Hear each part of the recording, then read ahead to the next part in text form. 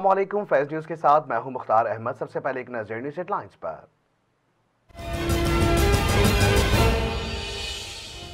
वज़ीर अजम इमरान खान का कहना है कि पीटीआई ने खैबर पख्तूनख्वा के बलदियाती इंतबात में गलत उम्मीदवारों का चुनाव शिकस्त की वजह बनी है। वज़ीर अजम इमरान खान का ट्वीट में कहना था कि पीटीआई ने खैबर पख्तूनख्वा के बलदियाती इंतबात के पहले मरहले में गलतियाँ की और इसकी कीमत अदा की। गलत उम्मीदवारों का इंतबाब बुनियादी वजह बना।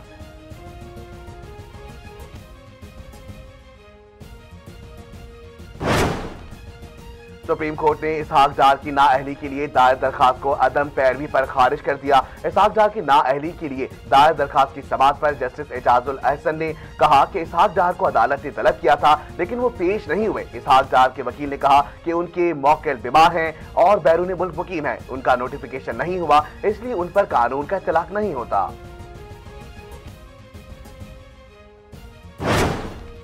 विफाकी वजी इतलात फवाद चौधरी ने कहा है कि खैबर पख्तूनख्वा के बल्दियाती इंतबात के नतज से हमें कोई परेशानी नहीं। इन इंतबात से पी टी आई की गैर मकबूलियत ज़ाहिर नहीं होती। अपने बयान में वज़ीर इतलात चौधरी फवाद हुसैन ने कहा कि खैबर पख्तूनख्वा के बल्दियाती इंतबात के नतज और दीगर इंतबात के नतज को देखा जाए तो पाकिस्तान तहरीक इंसाफ का वोट बैंक मुख्तलिफ़ नहीं। इमरान खान ने ताकतवर बल्दियाती निज़ाम को जो वादा किया था, वो पूरा कर दिया।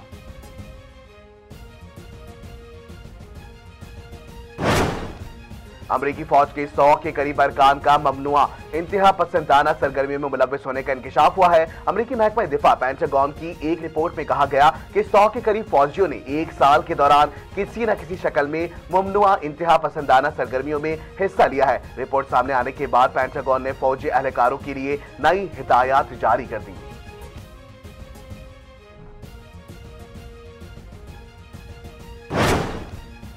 ऑडिटर जनरल ऑफ़ पाकिस्तान ने बलूचिस्तान के सालाना बजट 2019 से 20 की ऑडिट रिपोर्ट जारी कर दी। सूबे के बजट में 14 अरब रुपए से जायद की माली बेकायदगियों का इंकशाफ हुआ है। रिपोर्ट के मुताबिक तीन अरब रुपए से जायद अखराज का रिकॉर्ड ही मौजूद नहीं था। ऑडिट रिपोर्ट में सत्रह मकाम पर एक अरब अड़तीस करोड़ रुपए से जायद रकम रिकवर करने की निशानदेही की गई।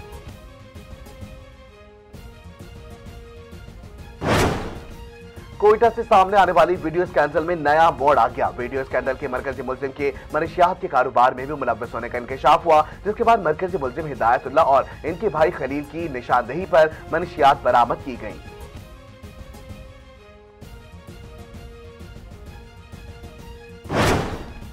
अमेरिका में कोरोना वायरस की जुनूबी अफ्रीकी किस्म ओमली क्रोन ने पंजे गाड़ना शुरू कर दिए और नए वेरिएंट से पहली हलाकत भी सामने आई। मीडिया रिपोर्ट के मुताबिक अमेरिकी रियासत टेक्सास में गुजश्ता कई रोज से कोरोना के नए वेरिएंट क्रोन से हलाकतें सिलसिला जारी हो चुका है, जिसमें पहली हलाकत रिपोर्ट हुई और मरीज़ के गैर वैक्सीन शुदा होने की तस्दीक की गई है।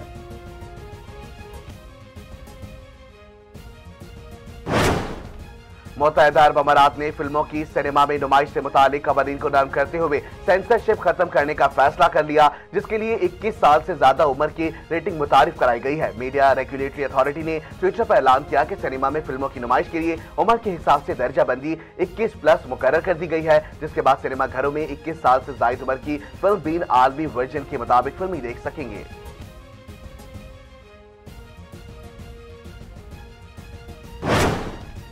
और महकमा मौसमियात ने आज से शहरी गाइड का दर्जा हरारत बढ़ने की पेश गोई कर दी। पीर को कम से कम पारा दस डिग्री सेंटीग्रेड रिकॉर्ड हुआ। महकमा मौसमियात के अर्ली वार्निंग के मुताबिक मंगल से कई रोज से जारी सर्दी की लहर में कमी, जबकि शहर का दर्जा हरारत बढ़ने की तो है। कम से कम पारा पंद्रह से सत्रह और ज़्यादा से ज़्यादा पच्चीस से सत्ताईस डिग्री के दरमियान रहने का इम्कान है।